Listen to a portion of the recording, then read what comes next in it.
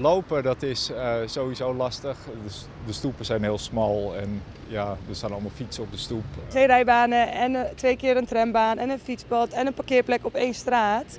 Dus er moeten gewoon uh, maatregelen genomen worden.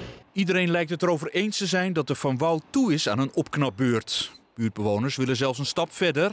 Zij vragen al jaren om een zogenoemde verkeersknip. Samen met de ondernemersvereniging van de, uh, Albert Kuip hebben we gepleit in de gemeenteraad voor uh, het maken van deze knip. Om hier een prachtige straat van te maken, wat het nu nog niet helemaal is. Veel details zijn er nog niet, maar de verkeersknip houdt in dat je vanaf de Van Wouwstraat niet meer zomaar de stadhouderskade op kan rijden en andersom.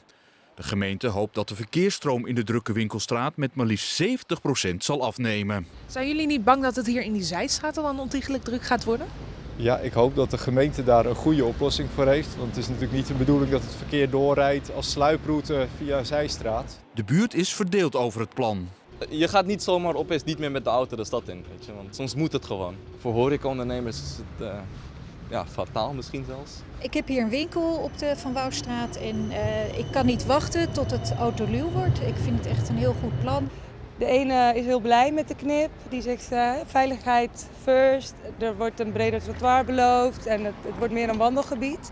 Maar wat ik ook hoor bij andere ondernemers is dat, uh, ja, dat ze zich zorgen maken over de bevoorrading, grote getalen of zware objecten. En dan moet dan in een auto. En als die auto niet voor de deur kan stoppen, ja, dan weet je niet zo goed hoe ze dit uh, kunnen oplossen. Nou, ik denk dat de gemeente daar wel rekening mee houdt. Het Rokin is ook helemaal uh, autoluw. En daar zitten ook allemaal winkels en horeca. En dat gaat allemaal goed. Door de knip is de verwachting dat de verkeersdrukte op de Amsteldijk en de Stadhouderskade met meer dan 15% gaat oplopen. Het, het, is niet logisch. Het klinkt niet logisch. Ik bedoel, als je hier omheen kijkt, hier staat al een file.